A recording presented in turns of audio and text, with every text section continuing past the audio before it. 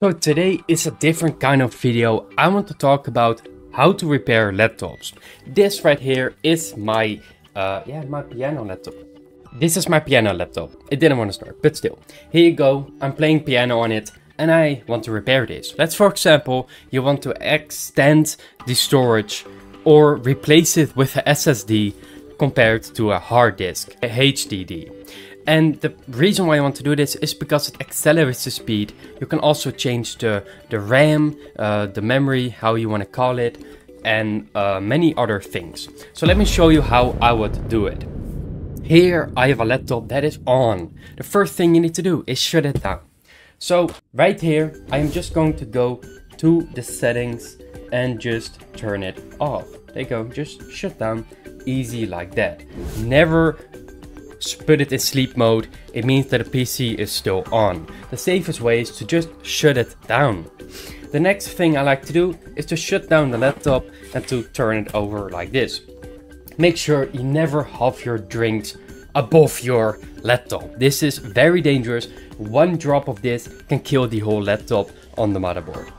So just keep that away as far as possible and then grab your repair kit. Mine is right here. Here I have very useful tools. I have, for example, a flat one. Um, there you go. It doesn't really want to focus, but it's a flat screwdriver. I have, there you go. I'm not really sure what it's called, but you probably wouldn't know what it is. Um, this is very useful to have as a set to keep with you if you want to repair computers. So now the first thing you need to do is to make sure that this, the battery is out.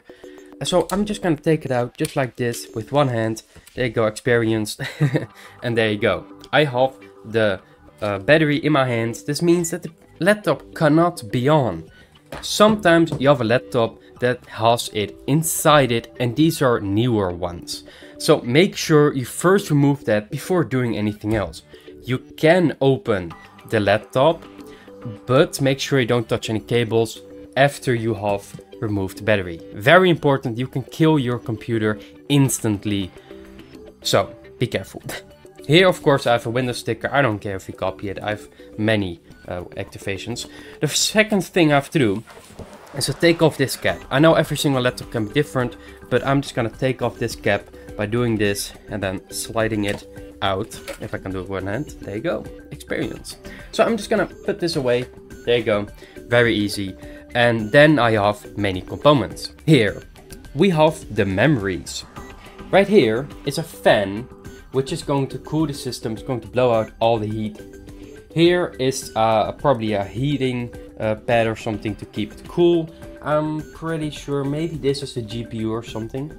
Uh, so it's going to blow it all out. Here we have the network chip uh, you can see this because of these wires. These two wires are um, clamped on like that. Uh, you can just remove it very easily by just pulling it. So I'm just gonna pull it right here above. Just pull it from below to above straight and there you go it's off now we have this it's very annoying to put this back on but it can be done. Just gonna take a moment. There you go i'm just gonna push it like this. There you go if you push it and it clicks that means that it is stuck and then i'm just gonna push it back on. Because if this is not on if this is not correctly put on you don't have any bluetooth or wi-fi. So make sure that this one is correctly on if you want to repair this. If it's broken if your wi-fi is broken yeah you can actually see um, here that is a wireless and here you go you have um, the name and everything. Uh, here I'm pretty sure you have the model number. So if we look at model numbers I'm just gonna zoom in. You see many things here. And uh, what I recommend you do is it, it's pretty complicated sometimes is just search up a few things. Um, but if you have to repair this, of course, you want to know the correct one so you can put it back in just like this. But I can show you a better example. For example, here with the memory sticks, we have um, the information that it's a 4 gigabyte stick. You can see this right here. And I'm pretty sure if you search up this code right above, you should be able to find more information about this stick. To get it out is very easy. You have these clamps right here. Just push them outwards. If I can do that by one hand, it would be wonderful. If I can, yes, there you go. And now it go. Uh, now it just flips above, and then you can pull it out like that. Never bend anything. It's going to break the system. Be very careful. If you want to put it back in, you can see the slots right here. Just keep it sideways like this. And then just push it down like this. Then these clamps are going to get stuck again and now you have replaced your memory.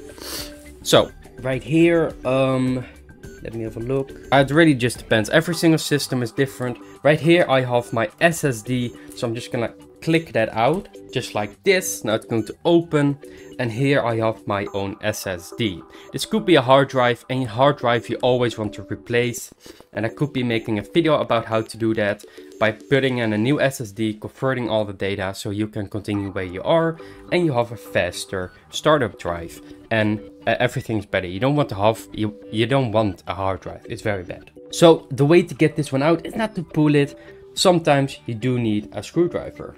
So that is what I'm going to do. I have my screwdriver right here, of it in my hand. So what I'm going to do is I'm going to need to screw this loose. Just like this, just go left to the left side. There you go. Pretty sure that's against the clock. And after doing that, it's going to get loose. There you go. I'm pretty sure this one could get out. Sometimes screws cannot get out and they are stuck with a clamp. But let's make sure that this one is not that one, because we have to, of course, pull it out. There you go, I'm already removing it. I'm just gonna do it with my right hand, I'm way faster with my right hand, there you go. Um, sometimes it doesn't want to get out. Yeah, there you go. No! Make sure you always get the screws out, just like that. Put them safe. I sometimes like to put them in a box. Yeah, there you go. Um, so they are safe and you cannot get, yeah, you, you never, you know, miss them or anything. Yeah, I, I forgot the word, but it doesn't matter. Uh, just click this one out by pushing, um, I think a little bit sideways. They go. Oh, it's just very difficult to do with one hand, but yeah, yeah, just push this one upwards like this. Now I can push it backwards. So I'm gonna, there you go. I'm just gonna push this one out. And of course I have a screw right here.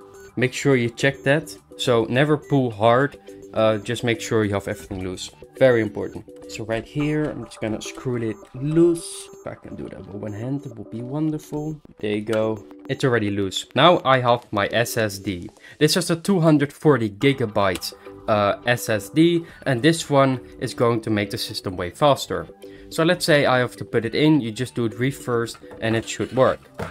Right here we have a SATA port and this one is for power and it is exactly the same as on a computer. So if you have ever seen it before, uh, this one you click on it uh, from the PCU, which is the power supply.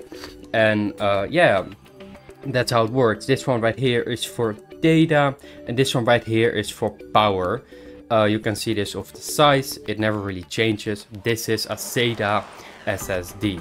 You can see this right here. Never screw everything loose. You're going to get rid of the parts. I mean, you're going to lose them and uh, yeah, that's not very good. Here, uh, I'm pretty sure this is a speaker.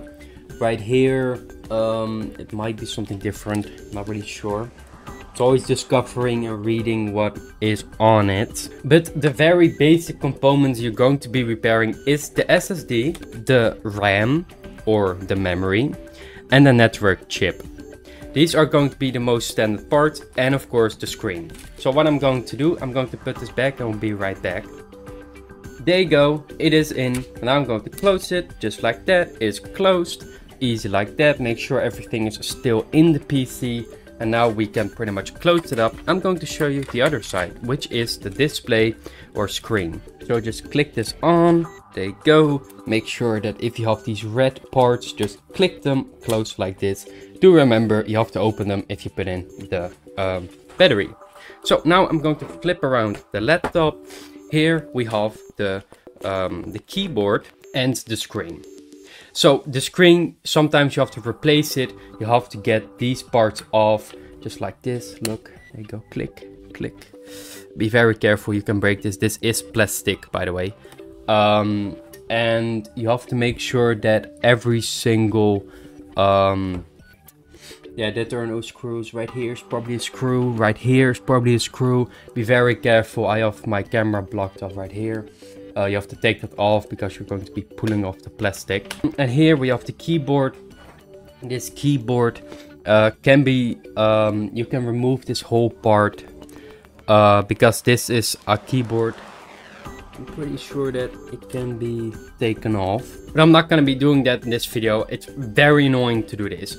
And the other parts are going to be replacing uh, you're probably going to be replacing that more often. Uh, a whole screen, I can make a video about it, just let me know. I will try to take off this screen deck, I'm just gonna click it back. But if I do that right here, it's gonna take a while. so if you want me to make a separate video about removing the keyboard and the display, so the whole screen, just let me know down in the comments, subscribe down below, and I will know that this video is enjoyed for and I can make more content like this. There are many parts here. Uh, you're going to be seeing the motherboard uh, if I take this off and it's going to be a very more difficult job compared to just showing the back side of the laptop which is probably the part you're going to be um, upgrading your parts more. I'm pretty sure if your display is broken you can better go to a IT shop you know that can repair it. Uh, they are experienced and if you break anything um, that would be very stupid. The, the screen is very fragile, it's plastic. So be very careful if you want to try it or just let me know down below and I can repair it for you. And I can show you how to do it. I'm just gonna click in the, um, yeah, the battery and then I'm just gonna click in the red. There you go, the red part. There you go. Make sure because otherwise the battery falls out. We don't want this. To show you that the laptop still works, gonna start it up right now. There you go, the piano laptop is starting up. HP and Windows 11. It's not the best OS, but hey, it's fine. Other thank you so much for watching. Uh, make sure that you like down below and comment down below if I've said anything stupid. I know I sometimes do, but I try my best. That's why I wasn't talking too much about model numbers. They can be very complicated. I normally just search them up um, and figure out which one it is. It probably says it already. It's a HP, so normally they have HP parts and all.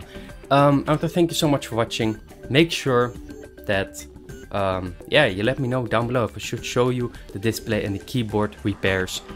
I want to thank you for watching again. Goodbye.